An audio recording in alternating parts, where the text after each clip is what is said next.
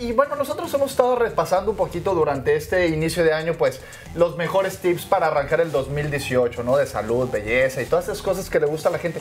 Pero hace falta algo muy importante, las redes sociales. ¿Tú qué, tan buena eres para las redes sociales? Pues las redes sociales es uno de mis fuertes. Eh, ¡Hágale, mija! Te voy a decir por qué. Precisamente por los club de fans, porque cuando tú tienes una buena relación con los club de fans, los club de fans crecen y están pendientes de todo lo que haces en tu carrera y eso hace que tus redes se estén moviendo constantemente. Entonces les respondo, tenemos incluso como un chat que se llama Jimenáticos y ahí estamos todos hablando, les cuento lo que va a pasar. Es más, nos están viendo en este momento porque les dejé saber que iba a estar acá. Mira nada más, todo, todo una, una profesional de las redes eh, sociales, pero bueno, la que también es muy profesional y es una máster es Andreina Espino que nos viene a hablar de las redes sociales y cómo se van a mover para este 2018. Sí, Andreina, bienvenida. Gracias chicos, feliz años, gracias por tenerme aquí una vez más. Ya me siento parte de la familia. Totalmente feliz. Estamos nosotros de que tú estés aquí para ayudarnos, porque obviamente Jimena en el ámbito profesional, su carrera se debe también a los medios, pero también esas personas que tienen esa empresita que están empezando, que este año han dicho que es muy bueno para el negocio, es buenísimo entonces también para las redes sociales y para las personas que tienen un negocio a través de las redes.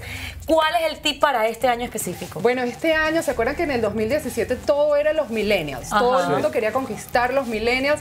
Bueno, nos viene un nuevo reto que es la generación Z. ¿Cuál es que son los jóvenes que están comenzando a trabajar este, y están teniendo poder adquisitivo por primera vez. ¿De qué edad, perdón, son más o menos ustedes? Bueno, yo diría como los 20 años, más ah, o pues, menos. Clasificamos todos. Pues sí, ya, ah, todos, estamos en esa línea.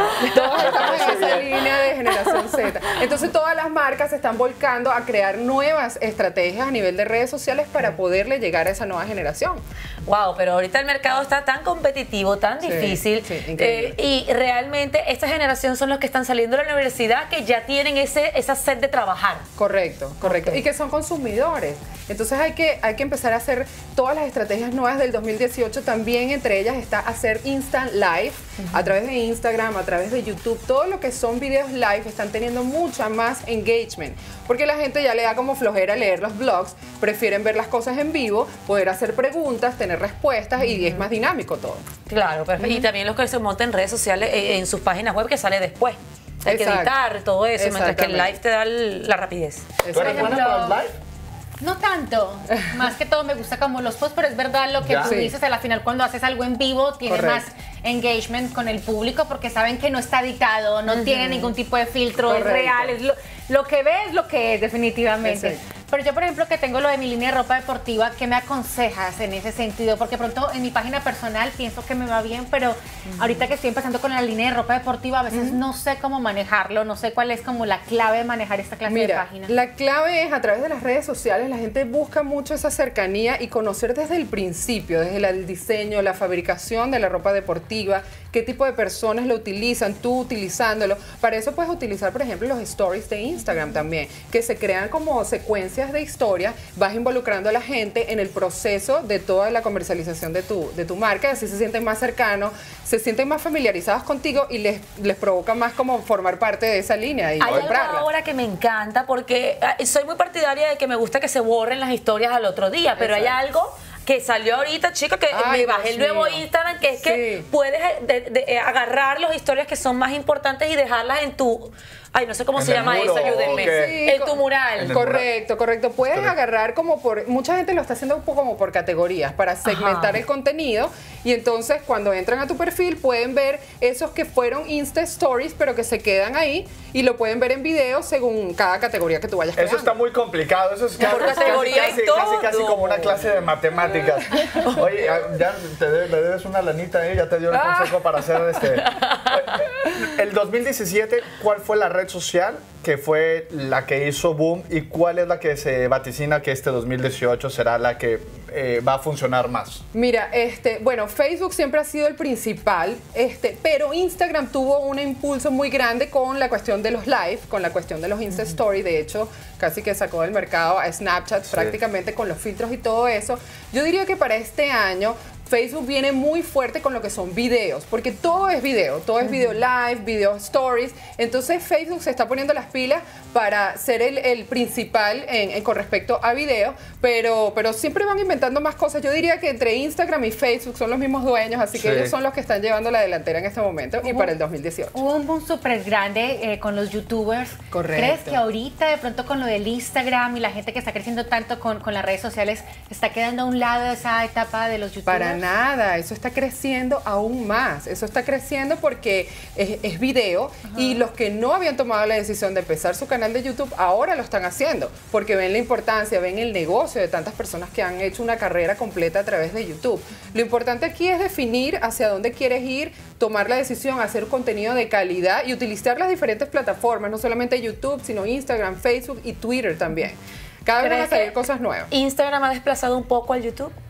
Eh, lo que pasa es que son diferentes. Este, YouTube se queda el contenido eh, en video, se queda ahí para siempre. Instagram es como más el día a día, el más espontáneo. Yo diría que los stories han reemplazado la parte de los posts tradicionales. Los stories están teniendo más engagement que nunca. De hecho, en este 2018 van a seguir teniendo más. Eh, si antes tenían, ahorita la gente va a ver más que todos los stories. Hay que, hay que postear muchos stories.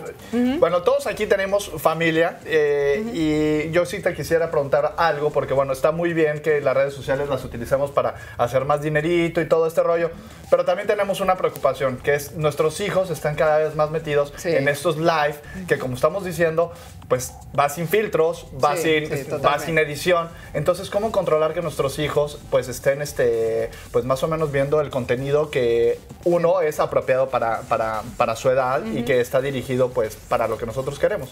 Correcto. Mira, este, realmente no hay filtro de parte de esas plataformas, pero está de parte de los padres. Por ejemplo, yo tengo mi hijo de 10 años. Hay aplicaciones móviles en donde tú le puedes monitorear todo lo que ellos van a ver y le puedes bloquear ciertos contenidos. Tú pones la edad, pones más o menos eh, qué tipo de contenido tú quisieras bloquear dependiendo de la edad y tu hijo no se va a dar cuenta, va a ser a través del teléfono, tú le simplemente vas a instalar una aplicación y tú vas a tener acceso a su teléfono y poder ver hasta los chats, los, los textos, todo. O sea, lo puedes monitorear y estar pendiente. Y al marido también, oye. Totalmente, al marido también. Y si no sacas a la antigua la chancla voladora, Total. cinturón, mijo, ¿qué está viendo que se pongan el carril que hace poco lanzaron un comunicado, de hecho, las plataformas de redes sociales lanzaron un comunicado que lo recomendable era que los niños adquirieran una red social a partir de los 14 años, ¿estás de acuerdo? Totalmente. Mi hijo tiene 10 años, gracias a Dios no le ha interesado para nada. hay, gente, hay gente que le abre las redes desde que nacen los bebés. Bueno, me imagino viendo a futuro que el niño tenga muchos seguidores cuando tenga cierta edad,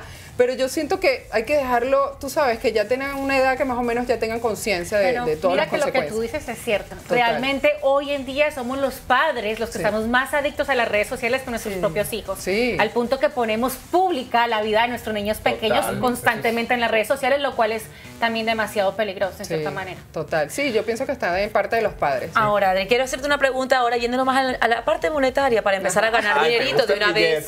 claro. y de una vez. este, ahora, como se ha visto que mucha gente ha vendido, no solamente ropa, mercancía, todo se puede vender a través de las redes sociales, incluso uno mismo como marca. Correcto. Eh, ¿Qué crees tú que es más factible y viable? Eh, hacer un post que te lo van a cobrar eh, de una manera sabiendo que ese post que colocas no tiene la misma cantidad de views ni de likes que un story, porque me ha pasado en mis redes sociales.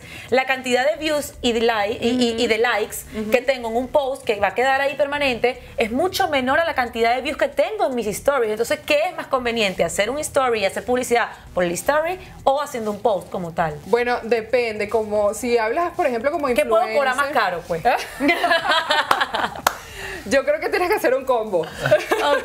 tienes que hacer un combo de stories con post tradicional porque a pesar de que el, del que el story está teniendo más engagement, el post tradicional se queda ahí para siempre. Entonces, ¿sabes? Eh, utilizar las dos cosas. Sin embargo, ahora si eres una marca o una compañía, se está utilizando muchísimo los sponsor ads, que ya venía también la gente utilizándonos en el 2017, pero en el 2018 ya es como que el que no creía en eso o no lo entendía ya lo está empezando a entender. Que es un poquito para colocar en contexto a los televidentes. Los sponsor ads son los anuncios publicitarios pagos que salen en las redes sociales, que salen en Google. Cuando tú creas una campaña a través de sponsor ads, tú escoges a la audiencia a, quien le va a llegar ese post. O sea, puede ser un post tuyo con, por ejemplo, tuyo con tu ropa deportiva, pero en vez de ponerlo en tus redes orgánicamente, tú vas a a, ponerle una inversión de dinero y vas a seleccionar la edad de las mujeres que quieres a que, le aparezcan, la localización, el idioma, todo, de manera que le va a llegar a gente que no te sigue, que no sabe de tu marca, pero le va a llegar ese post y te vas a dar más a conocer. Eso es un buen tip. Eso es súper bueno. ¿Sabes que me quedó sonando un poco lo de la generación Z? Ay, Dios mío. Eh, porque ya pues, conocemos. de nuestra generación. Exacto, conocer un poco más de mi generación. Todo,